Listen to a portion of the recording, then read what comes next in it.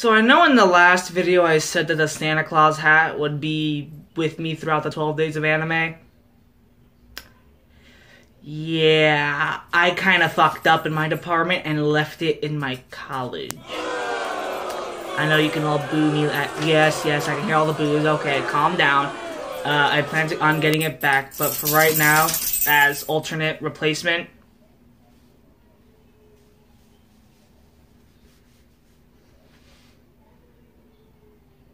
No? It doesn't feel right. Fucking knew it. Anyway.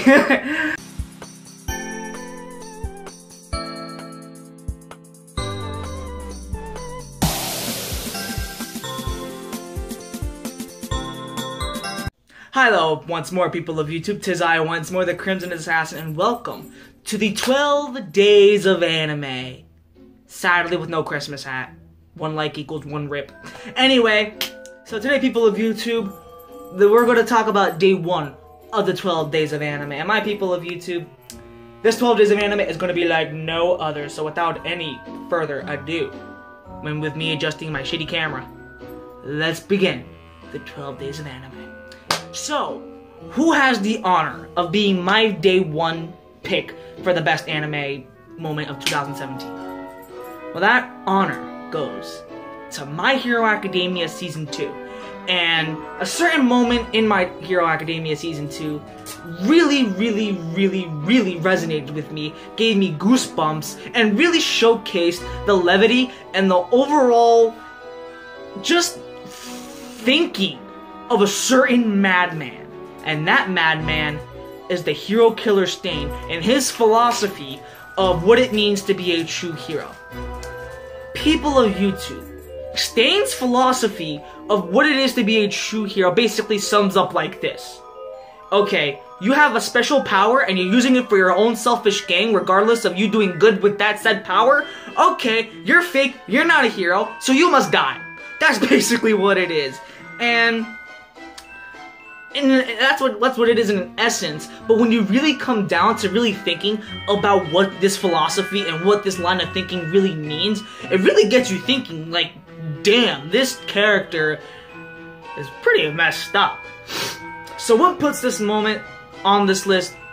Well, like I said, I mean, it just gives me goosebumps throughout, but it really gets you thinking. Yeah, really, if you truly think about it, you know, I think the meaning of the word hero is lost in My Hero Academia. It truly it truly showcases that in the in the franchise because 80% of the population has a quirk, has its own unique special unique power and catered to his uh, his or herself and with all these superhuman uh, uh, people, you know, the term hero kind of gets lost because hero is not necessarily a thing that you would do in a normal comic book. It's actually an occupation. You can actually earn money and become famous by being a hero. And pretty much that's what a majority of the people who are now a hero, what does. Uraraka is a pure example because the reason why she becomes wants to become a hero is because, well, she wants to make money to support her family.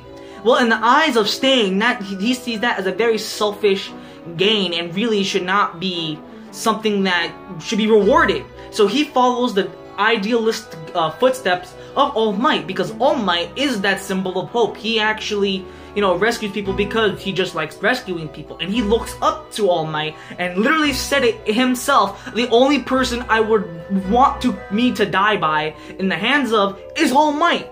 And it truly showcased the overall insanity that is Stain, but he also gets you really truly thinking about the concept of being a hero. And of course, there's a lot of stipulations, a lot of things that can go wrong with becoming a hero.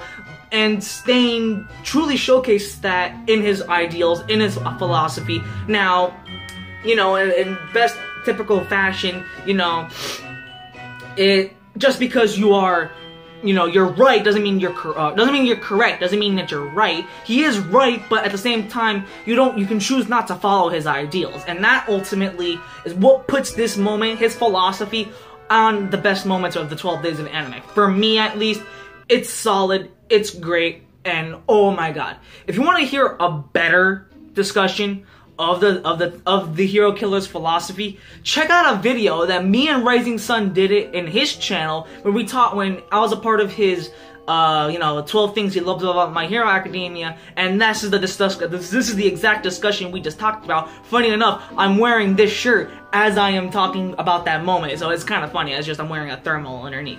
Um, and so yeah, people, that concludes day one of the 12 days of anime. Hope you guys really enjoyed, and I will see you in tomorrow with a new video, and with sadly without my hat. Peace, YouTube.